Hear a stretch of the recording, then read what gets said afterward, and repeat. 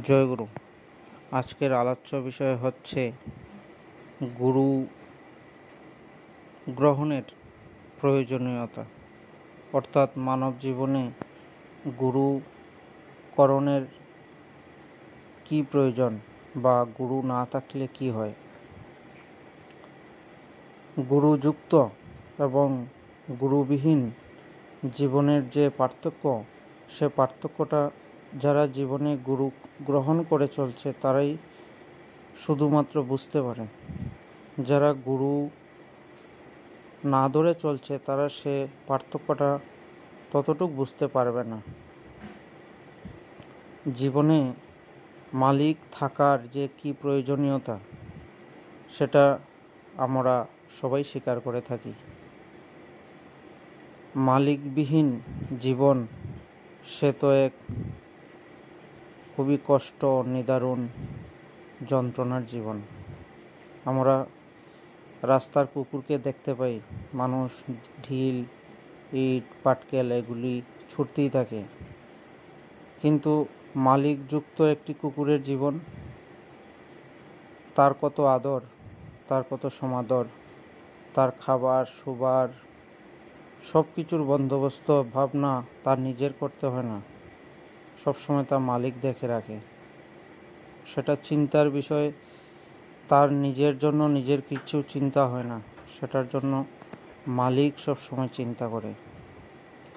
তাই গুরুযুক্ত এবং গুরুবিহীন জীবনের যে পার্থক্যটা, সেটাও এই রকম। সেটাও ঠিক একই রকম। আমরা যখন হসপিটালাইজড হয়ে থাকি আমাদের যে তখন অবস্থা হয়, আমরা তখন শ্বাস প্রশ্বাস তখন স্বতঃস্ফূর্তভাবে অনায়াসে গ্রহণ করতে পারি না।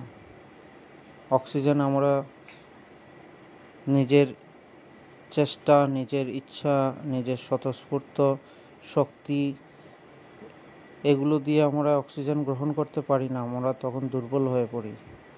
তখন বাহিরের শক্তি দিয়ে সিলিন্ডার, অক্সিজেন সিলিন্ডার এর মাধ্যমে তখন আমাদের অক্সিজেনের ব্যবস্থা করিয়ে দেওয়া হয়। কিন্তু যখন আমরা সুস্থ অবস্থায় থাকি, তখন সেই যে প্রক্রিয়াটি আমরা কত অনায়াসে করে থাকি।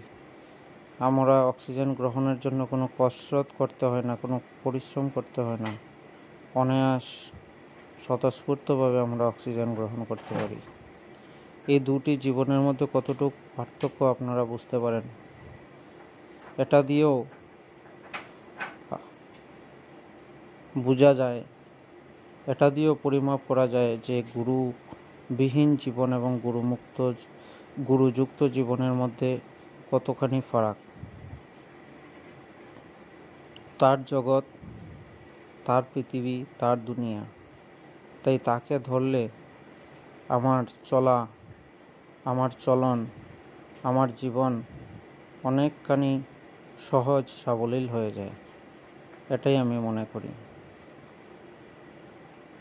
জীবনে যাদের গুরু রয়েছেন, তাদের জীবনগুলি কেমন, সেগুলি সবেরই জানা। নরেন্দ্রনাথ দত্ত, তিনি হয়ে গেলেন স্বামী বিবেকানন্দ। ওনার গুরু ছিলেন শ্রীরামকৃষ্ণদেব, সবাই জানেন। শিবাজি শিবাজি ওনার গুরু ছিলেন রামদাস। চন্দ্রগুপ্ত, রাজা চন্দ্রগুপ্ত ওনার গুরু ছিলেন চাণক্য। এভাবে একজন, দুজন, তিনজন নয়, যারাই মহান মনি ঋষি, তাদের জীবনে একজন না একজন আইডিয়াল, আদর্শ বা গুরু রয়েছেনই নিঃসন্দেহে গুরু রয়েছেন। এটাই হলো গুরু ধরার বা জীবনে গুরু থাকার সার্থকতা। আলোচনা দীর্ঘায়িত করব না। ঠাকুরের আলোচনা প্রসঙ্গে একটি বইতে এ নিয়ে ঠাকুরের ছোট্ট সংক্ষিপ্তভাবে বলা আছে। একজন প্রশ্ন করেছিলেন জীবনে গুরু না থাকলে কি হয়? শ্রী ঠাকুর বলেছিলেন, গুরু না থাকলে মানুষের ব্যালেন্স বা সমতা ঠিক থাকে না। শিবাজি রাজা হয়েও রামদাসকে রাজ্য দিয়ে নিজে প্রতিনিধি হিসাবে রাজ্য চালাতো। রামদাসকে সে জুজুর মতো ভয় করত। এ ভয়টা কিন্তু ভালোবাসার অমুক টানে। অত বিপদের মধ্যে পড়েও তাই সে ঠিক ছিল। তার গায়ে একটা আচরও লাগেনি। পরিশেষে বাবাই দাদার বর্তমান আচার্যদেব ওনার একটি বলা কাহিনী দিয়ে শেষ করছি। একটি গরু সন্ধে হয়ে গেছে, তখন তাকে বাঘ ধরেছে। দৌড়তে দৌড়তে গিয়ে যান প্রাণ সপে দিয়ে দৌড়চ্ছে। দৌড়তে দৌড়তে গিয়ে একটি কাদাময় যুক্ত একটি স্থানে গিয়ে ফেসে গেছে পরে গিয়ে ফেসে গেছে আর উঠতে পারছে না। হ্যাঁ বাঘ তখন তাকে বলছে, এবার কোথায় পালাবি? এবার তো শেষ, এবার তো তোকে খাব। তখন গরুটি হাসছে। গরুটি হাসছে দেখে বাঘ বলছে, তুই হাসছিস কেন? তোর তো দিন শেষ, জীবন শেষ। তুই ভয়ে আর্তনাদ হবার কথা ছিল, তুই এখানে হা হাসছিস কেন?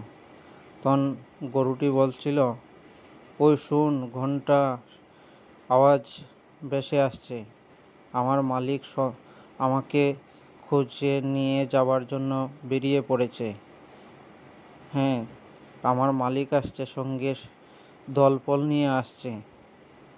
আমাকে খুঁজে বার করবে, বের করে নিয়ে চলে যাবে, উদ্ধার করে নিয়ে চলে যাবে। কিন্তু তোকে কে উদ্ধার করে নেবে?